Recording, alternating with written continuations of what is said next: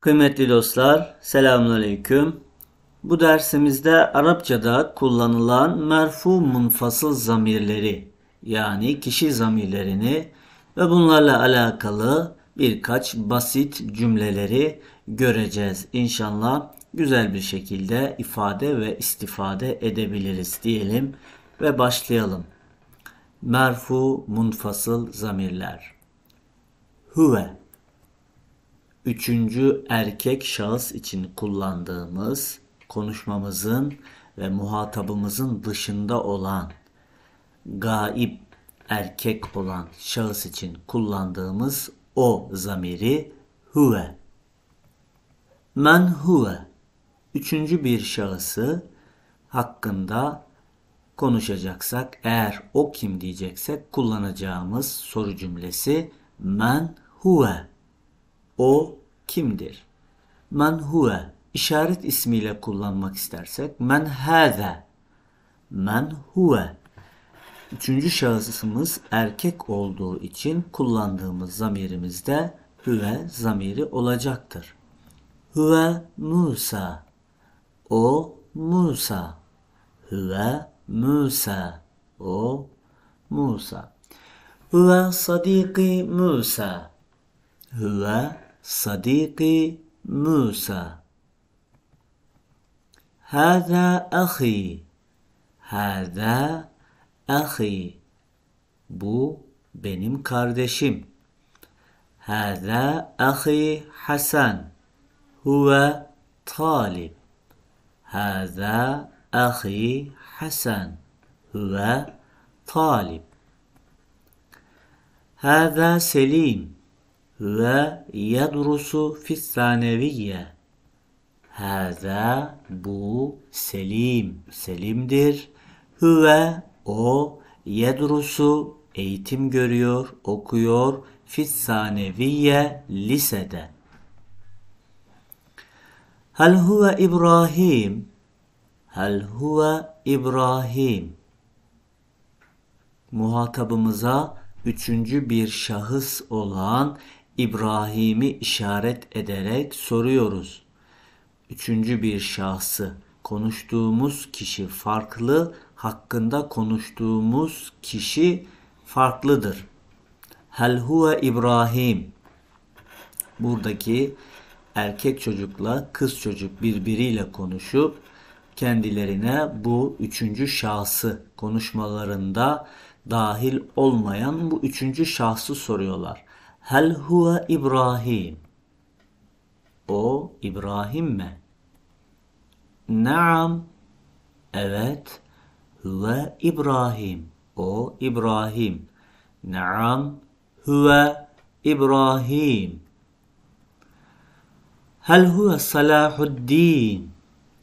Hel huve Salahuddin? La.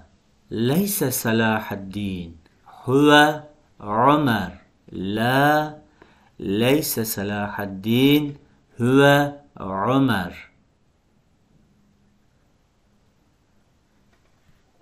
Merfu munfasız zamirlerden, kişi zamirlerden ikinci zamirimiz yine üçüncü tekil şahsı, gaibe olan şahsı ifade eden zamirimiz hiye zamirimizdir.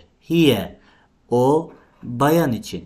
Yine üçüncü bir şahıs, yine tekil, sadece erkek olduğu zaman hüve zamiri kullanıyoruz. Bayan olduğu zaman hiye zamirini kullanıyoruz. Gaib olursa muhatabımız olmayan üçüncü şahıs olan kişi zamirimiz. Hiye. Men hiye. O kim? Men hiye üçüncü bir şahsı göstererek men hiye. Hiye Sümeyye. Hiye Sümeyye. O Sümeyye. Hiye uhti Sümeyye. Hiye o uhti kız kardeşim Sümeyye. Hâzihi Merve. Hiye talibe. Hâzihi bu Merve. Merve'dir. Hiye o talibe bir öğrencidir. Hel hiye Merve. Hel hiye Merve. Naam hiye Merve. Naam hiye Merve. La leyset Merve hiye Hatice. Hel hiye Merve? La leyset Merve hiye Hatice. Hiye zamiri kullanmamızın sebebi üçüncü şahıs olan hakkında konuştuğumuz kişinin bayan olmasından ötürüdür. Ente geldik ikinci tekil şahısımız yani muhatap şahıslarına geldik. Ente erkek için kullandığımız sen. Yani karşımızda konuştuğumuz kişi erkekse ona hitaben kullanacağımız zamir entedir. Bu erkek tek kişi olursa ente olacaktır. Eğer iki ve daha fazla karşımızdaki kişinin sayısı artarsa o zaman kullanacağımız zamir de değişecektir.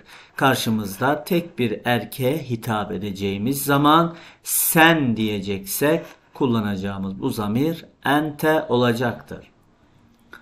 Men ente. Ben bu karşımdaki bu çocuğa soruyorum. Men ente. Sen kimsin? Men ente. O da cevap veriyor. Ene Mustafa. Ene ben Mustafa Mustafa'yım. İsmi Mustafa. Men ente. Sen kimsin? İsmi Mustafa. Adım Mustafa.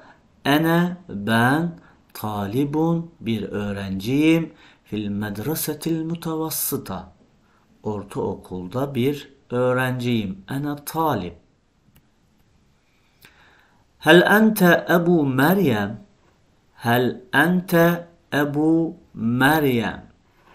Bu bayan bu erkeğe soruyor. Diyor ki hel ente sen Ebu Meryem. Şu yandaki kızın ismi Meryem. Meryem'in babası mısın? Eb baba demek. Hel ente bu bayan bu erkeğe soruyor. Diyor ki hel ente hel soru edatımız mimi mı mi mısın misin anlamında. Eb baba Meryem de bu kızın ismi. Ebu Meryem Meryem'in babası mısın? Hel ente Ebu Meryem. Naam adam cevap veriyor. Naam evet ene ebuha. Ha zamiri buradaki Meryem'e gidiyor. Evet ben onun onun babasıyım. Aslında buradaki ha zamiri hangi ismin yerini tutuyor? Meryem'in yerini tutuyor. Yani Naam en evet ene Ebu Meryem. Ben Meryem'in babasıyım. Meryem'den bahsedildiği için ikinci kez bir daha Meryem demiyor. Onun yerini arkadaşlar muttasıl bitişik zamir kullanıyor. Ebuha naam evet ene ebuha ben onun babasıyım. Mecrur muttasıl zamirimiz ha zamiri onun demek. Veya şöyle de bir cevap verebilir. La hayır ene ben ammuha. Onu yine ha zamiri buradaki Meryem'e gidiyor. O Meryem'in amcasıyım. Ene ammu Meryem demek bu. Buradaki bir öncekinde ha zamirinin bu şekilde yazılmasının sebebi vav harfi kendisinden sonraki kelimeye birleşmediği için ha'yı burada baştaki haliyle yazıyoruz. Ancak burada ha zamiri kendinden önceki mime bitiştiği için burada da ortadaki haliyle yazmış oluyoruz. Veya sondaki hali diyelim kendisinden sonra bir harf yoktur. La hayır ene ammu Meryem. Meryem'den bahsedildiğini bildiğimiz için Meryem yerine ha zamiri onun anlamındaki ha zamirini getiriyor müennes olduğu için onun amcasıyım. La ana ammuha. Enti karşımızda bir bayan var. Ona sen diyeceksek ikinci tekil şahıs kullanacağımız zamir entidir. Bu karşımızdaki muhatap olan olduğumuz bu kişi erkek olduğunda ente diyorduk. Bayan da enti olarak kullanacağız. Men enti. Sen kimsin? Men enti.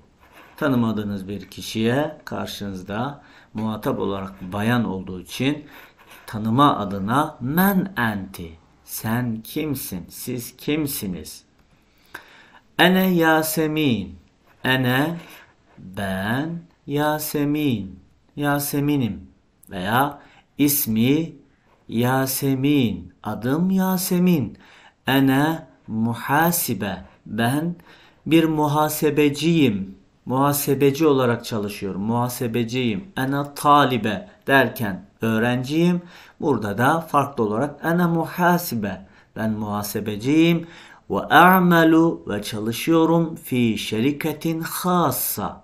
Özel bir şirkette hassa özel şerike şirket fi harfi cerimiz olan deda anlamındaki edatımız özel bir şirkette a'malu çalışıyorum. İsmi Yasemin. Ana muhasibe ve a'malu fi şirketin hassa. Ana zamirimiz bu da hem erkek hem bayan için kullandığımız ortak bir zamir. Erkek de kullanabilir, bayan da. Ana Abdülkerim. Ana ben Abdülkerim. Uhibbu kıraatel kütüb. Ben Abdülkerim kitap okumayı seviyorum. Ana Abdülkerim uhibbu kıraatel kütüb. Kıraa, kıraat okumak demek. Kütüp kitap kelimesinin çoğulu kitaplar okumayı anlamında. Türkçe'de kitap okumak diye söyleriz. Kitap okumayı seviyorum. Ene Zeynep. Ben Zeynep'im. Bir öncekinde Abdülkerim ben diyeceği zaman ene zamirini kullandı. Yine Zeynep de ben diyeceği zaman ene zamirini kullanabiliyor. Çünkü hem erkek hem bayan için kullanılan ortak zamir. Ene Zeynep ben Zeynep'im. Ben Zeynep veya ismi Zeynep de diyebilir. Uhibbu seviyorum el muhadesete konuşmayı ma'an nas. Uhibbul muhadesete ma'an. Uhibbu seviyorum el muhadese konuşmayı ma'an nas. İnsanlarla konuşmayı seviyorum. Hüma o ikisi iki kişi için kullanılan hem erkek hem bayan için iki erkek ve iki bayan için kullandığımız veyahut da bir erkek ve bir bayan içinde yan yana kullanacağımız zaman ikisini kast edeceksek eğer o ikisi diyeceksek o zaman hüma kullanacağız. Eğer bunların kendisine soracaksak bu iki hem erkeğin hem bayanın bizzat kendisine o zaman onlar bizim ik, ik, e, ikinci çoğul şahıs olacağı için entüma olarak kullanırız. Ancak burada ikinci e, değil, üçüncü çoğul şahıs değil mi? Bizim için gaib ve gaibe oluyor. Haklarında konuşacağımız kişiler o ikisi Arapçada biliyoruz ki tekil, çoğul bir de işte o arada ikil dediğimiz tesniye zamirleri bulunmaktadır. O ikisi demek. Hüma Hâzâni bu işaret isimlerinden tesniye. Bu ikisi demek. Hâzâni. Hâzâ bu. Hâzâni bu ikisi. Hâzâni bu ikisi Ali ve Hüseyin. Bu ikisi Ali ve Hüseyin'dir. Yanımdaki bir kişiye Ali ve Hüseyin'i göstererek diyorum ki Hâzâni bu ikisi kimdir? Ali ve Hüseyin. Hüma şimdi hüma zamirini kullanarak o ikisi dedim. Ehavan kardeştir. Hüma ehavan. Ehun kardeş. Ehavan iki kardeş. Hüma ehavan. O ikisi kardeştir. Hâzâni bu ikisi Ali ve Hüseyin hüma ehvan o ikisi kardeştir. Hel huma ummun ve ibnetuha hel huma o ikisi ummun anne ve ibnetuha ve onun kızı mı? O ikisi anne ve kız mı? O ikisi anne ve kız mı? Yani anne ve kızı mı? Hel huma. Huma zamiri kullanmamızın sebebi e, haklarında konuştuğumuz kişi tesniye yani ikil olduğu içindir. Eyne huma o ikisi nerede? Eyne huma o ikisi nerede? Huma fil hadika huma o ikisi fil hadika bahçede ve yel'abani ve oynuyorlar. Huma o ikisi fil hadika bahçede ve yel'aban ve o ikisi oynuyor. Tesniye olarak getiriyoruz fiili de yel abu tek bir kişi. O oynuyor. Yel abani o ikisi oynuyor. Entüma hem erkek hem bayan için kullandığımız karşımızdaki iki kişiye siz ikiniz diyeceksek kullanacağımız zamir. O ikisini gösterdiğimizde hüma zamiri karşımızdaki siz iki e, diyeceksek muhatap olduğumuz bu iki kişide entüma zamiri. Siz ikiniz entüma. Hel entüma Büşra ve Fatma. Hel entüma bu çocuk bu iki kızın kendisine muhatap alarak diyor ki ikinci çoğul şahıs siz ikiniz Büşra ve Fatma mısınız? Hel entüma bunlarla konuştuğu için entuma kullanıyor. Ama eğer şu sarılı çocuk şu kız kızla konuşup bu ve burada başka bir kişi daha olsaydı onlar hakkında bununla konuşsaydı o zaman helhuma o ikisi ya Ayşe ey Ayşe helhuma Büşra ve Fatma o ikisi Büşra ve Fatma mı diyebilir.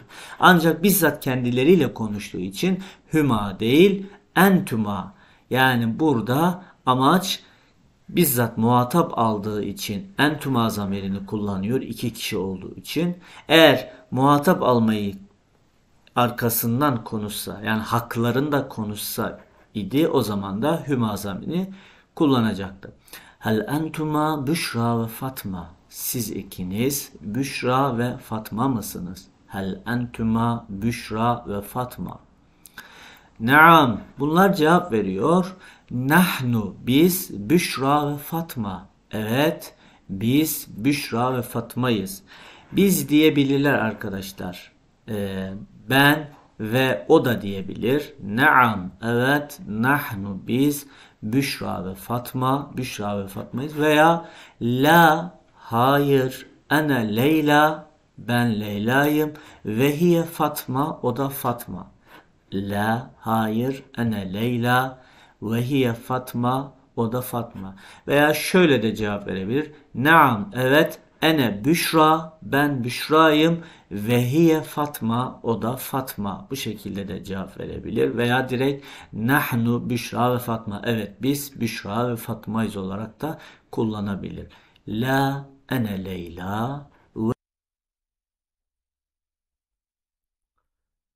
Entüma talibani müçtehidani. Entüma siz ikiniz talibani öğrencisiniz, müçtehidani çalışkan öğrencisiniz. Karşımızdaki iki erkeğe veya iki bayan da olsa yine entüma zamirini kullanacağız. İkinci şahıs olarak. Ancak bayan olursa talibani değil talibetani söylememiz lazım. Entuma talibetani müçtehidetani. Erkek olursa entuma talibani müçtehidani. Entuma tel'abani fil hadika. Sizler bahçede oynuyorsunuz. Entuma tel'abani kuretel kadem. Sizler futbol oynuyorsunuz gibi. Üçüncü çoğul şahıs gaib için kullandığımız o erkekler diyeceksek, onlar diyeceksek kullanacağımız zamir hüm zamiri olacaktır arkadaşlar. Hüm. Hüm Ahmet ve Salih ve Kemal. Onlar Ahmet, Salih ve Kemal'dir. Hum müslimun. Onlar Müslümanlardır. Hum muallimun. Onlar öğretmenlerdir. Hum onlar ya'melune çalışıyorlar. Nerede? Fil hakli tarlada çalışıyorlar gibi. Onlar yedrusna eğitim görüyorlar. Nerede? Fi İstanbul, İstanbul'da veya fi fil hariç yurt dışında eğitim görüyorlar gibi. Hüm ummal onlar işçilerdir. Ya'maluna fil masna fabrikada çalışan işçilerdir. Hüm ummal. Tabii ki burada kişi sayısı arttıkça zamirimiz nasıl değişiyor ise arkadaşlar çoğul olduğu için de amilun tek bir işçi değil ummalun veya amilune şeklinde işçiler kelimesini kullanıyoruz. Yine ona sıfat olarak getirirken de fiilimizde tekil olarak ya'melu değil ya'melune olarak onu da çoğul getiriyoruz. Hüm ummalun ya'melun. Eğer tek bir için söyleseydik hüve o nedir? Amilun bir işçidir. Ya'melu çalışan fil masna diyecektik ama çoğul olarak diyeceğimiz zaman hüm ummalun tesni olarak deseydik hüma o ikisi amilani iki işçidir. Ya'melani çalışan fil masna. Bu şekilde onlar fabrikada çalışan işçilerdir. Hum şebab. Onlar gençlerdir. Yedrusun, yedrusun. Eğitim gören fil cami. Üniversitede okuyan, üniversitede eğitim gören gençlerdir.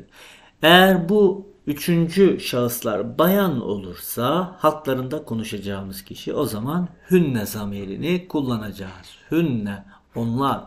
Hünne Meryem ve Sevda ve Ahsen.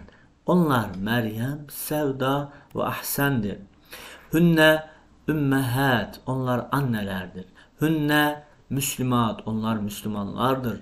Hünne muallimat, onlar bayan öğretmenlerdir.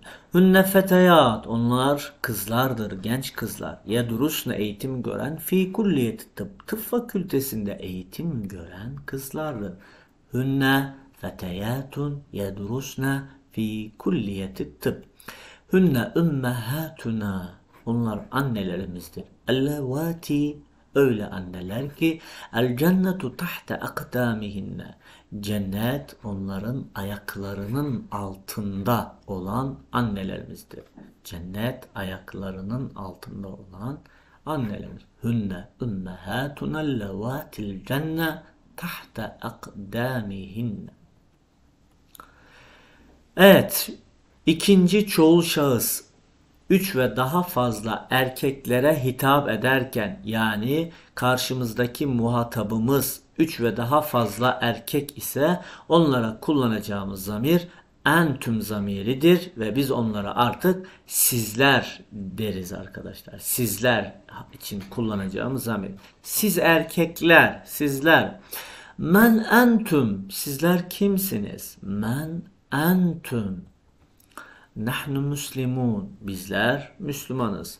Nasıl ki men ente sen kimsin sorusuna cevap ene Ahmet ben Ahmet'im ene talip ben öğrenciyim diyorsak men entüm sizler kimsin sorusuna da cevap olarak artık onlar da ben değil biz olarak kullanıyorlar. Nahnu muslimun veya bize sorarsalar sizler kimsiniz biz de cevap olarak bizler anlamında nahnu zamirini kullanırız. Nahnu muslimun. Bizler Müslümanız. Hel entum talibun. Sizler öğrenci misiniz? Hel entum talibun. Evet. Hel entum arabiyun. Sizler Arap mısınız? Hel entum min Türkiye. Sizler Türkiye'den misiniz? Türkiye'li misiniz? Sizler öğrenci misiniz? Hel entum talibun? Cevap, naam. Evet, nahnu tullabul medreseti zaneviyye. Naam. Evet, nahnu biz tullabul medreseti zaneviyye. Lise öğrencileriyiz. Nahnu tullabul medreseti zaneviyye. Hel entum turidun en teşrabu şay? Hel entum turidun ister misiniz en teşrabu içmek eşya çay içmek ister misiniz? Hel entum turidun en teşrabu şay? Naam evet nahnu isteriz tu, e, nuridu nahnu nuridu en neşreb en neşrebe şay Naam. Evet. Nahnu biz nuridu istiyoruz en neşrebe çay çay içmek veya la hayır la nuridu istemiyoruz en neşrebe çay veya la hayır nahnu nuridu en neşrebel kahve bizler kahve içmek istiyoruz. Evet, karşımızda muhatap olduğumuz 3 ve daha fazla olan kişiler bayan olursa onlara sizler diyeceğimiz zaman kullanacağımız zamir entünne zamiri olacaktır arkadaşlar. Entünne, sizler, siz bayanlar. Men entünne, sizler kimsiniz? Men entünne, bu bayanlara hitaben onların karşısına geçip söylüyoruz. Onlar da cevap veriyor. Nahnu müslimat, bizler Müslüman bayanlarız. Nahnu muallimat. Nahnu nahnu müdirat. Nahnu ummahat. Entunne talibat. Sizler kız öğrencilersiniz. Hel entunne talibat. Sizler kız öğrenciler misiniz? Başına hel getirirsem soru yapmış olurum. Hel entunne talibat. Hel entunne nisaun ta'malna fil matbah. Sizler hel entunne kadınlar mısınız, bayanlar mısınız? Ta'malne çalışan fil matbah e, mutfakta çalışan bayanlar mısınız? Mutfakta çalışan bayanlar mısınız? Evet. Cevap ne diyebiliriz? Evet diyeceksek naam. Evet. Nahnu nisaun. Bizler bayanlarız. Na'melne çalışan fil matbah. Veya la hayır. Nahnu. Bizler neyiz? Talibat. Kız öğrencileriz e, na'mel e, nedrusne eğitim gören fil camia üniversite eğitim gören kızlarız. Veya la hayır nahnu nisaun bizler bayanlarız e, ancak mutfakta çalışan değil nedrusne fil camia üniversitede okuyan bayanlarız gibi. Evet, biz diyeceğimiz zaman hem erkek hem bayan için kullanıldığı, kullanacağımız zamir nahnu zamiridir. Nahnu ümmetun muhsinun. Bizler yardımsever, iyiliksever bir milletiz. Nahnu ümmetun muhsinun. İyiliksever bir milletiz, toplumuz. Nahnu eşhas. Bizler kişileriz. Yu'minune billahi ve rasul. Allah'a ve Resulüne iman etmiş, inanmış kişileriz. Nahnu eşhas. Nahnu eşhasun yu'minune billahi ve rasul. Evet ve rasulihi. Bizler nahnu eşhasun. Bizler kişileriz. Nasıl kişiler? Öyle kişiler ki yu'minun, iman eden kişileriz. Burada aklınıza şu gelebilir. Nahnu eşhasun nu'minu amene yu'minu nu'minu iman etmiş. Ama burada kişileri üçüncü şu e, şey e, üçüncü evet yani gayb olarak almış. Allah'a ve peygamberine iman etmiş kişileriz. O yüzden yu'minun olarak getirmiş arkadaşlar. Nahnu müsafirat. Bizler ile Konya. Konya'ya yolcuyuz. Konya yolcusuyuz. Misafir, yolcu demek arkadaşlar. Sefere çıkan anlamında. Nahnu misafirat. Kız oldukları için, bayan oldukları için nahnu misafirat. Erkek olsa nahnu misafirun ila Konya, ila İstanbul. Nahnu nuridul auda ilel karya. Nahnu biz nuridu istiyoruz el auda dönmek ilel karya. Köye dönmek istiyoruz. Evet arkadaşlar Kısaca e, kişi zamirleri olarak Türkçe'de kullandığımız ben, sen, o, biz, siz, onlar. Arapçada tek farklı e, tesni olarak getiriliyor. Bir de kişi zamirleri Türkçe'de ortak kullanılırken Arapçada erkek ve bayan için ayrı kullanılmaktadır. Bunlarla alakalı kısa kısa basit cümleler e, öğrenmeye, görmeye çalıştık. Hafızamızı, zihnimizi, bilgilerimizi tazelemek istedik arkadaşlar. Peki e, dinlediğiniz için teşekkür ediyorum. Videolarımızı beğenip paylaşmayı, e, kanalımıza da abone olmayı unutmayalım lütfen. E, Allah'a emanet olun. Bir sonraki videoda görüşmek dileğiyle.